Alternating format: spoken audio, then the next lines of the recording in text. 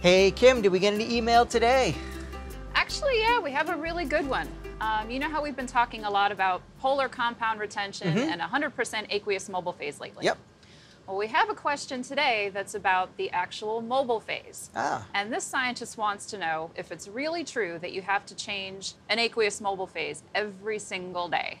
Every day. Ooh, that sounds a little bit demanding to me. Um, scientists usually are too busy doing other things to change their mobile phase every day, but I can think that potentially with buffers, maybe some crud can grow in there. Yeah, you know, anything that's going to grow in an aqueous mobile phase, like bacteria, Mm. could potentially foul the column. It can interfere with your runs. Um, it can contaminate your system. So we should probably check this one out. Yeah, yeah, we should think about how we're going to test for this. All right, let's do it. All right. Okay, so how do you think we should test for this? I think it's going to be pretty easy, Kim. So what I've done is I've just gone, I've just pulled some um, water from one of our ultra pure water systems. Um, I'm going to put this bottle up here in the graveyard of solvent bottles that always resides on the top of the instrument. And I think we do a standard separation, you know, a fresh, clean separation, look at the chromatography, and then we'll let this mobile phase sit up here for a couple days. We'll come back and we'll do the exact same separation and just notice if there's any differences in the chromatography. I don't think there'll be any, but there could be hmm. something. If there's anything growing in there, it may impact the separation.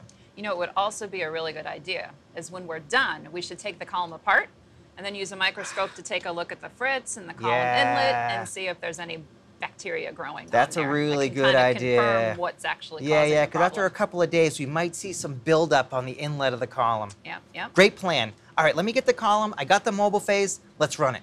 Let's do it.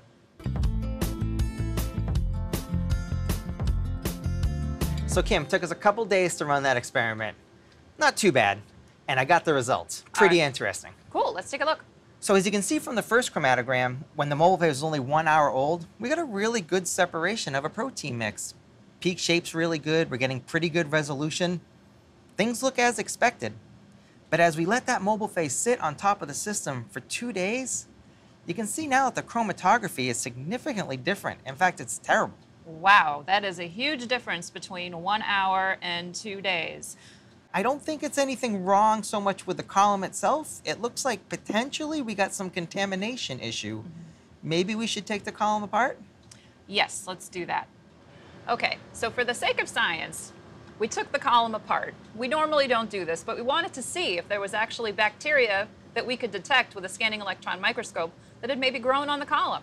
Yeah, that's really a good idea, Kim. Right. You never want to advocate pulling a column apart for any reason. But let's take a look at some of the images that came from the SEM. Yep.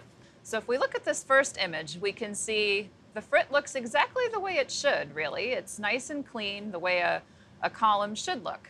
Um, if you're using nice, clean mobile phases and you're taking care of your system.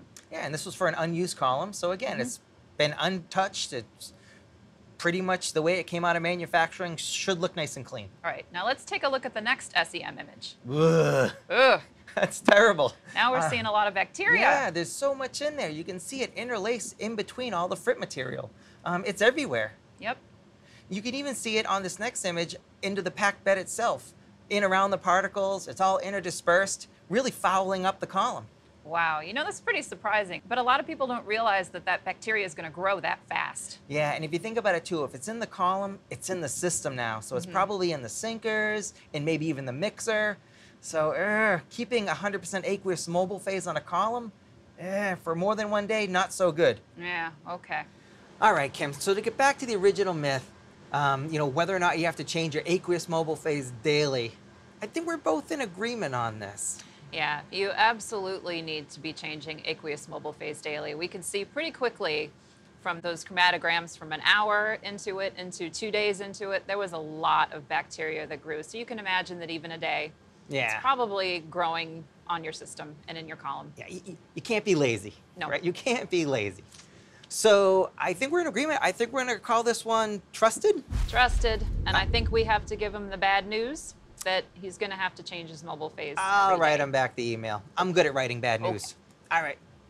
If you'd like your question to be answered on a future episode, please feel free to email us at trustyourscience at waters.com.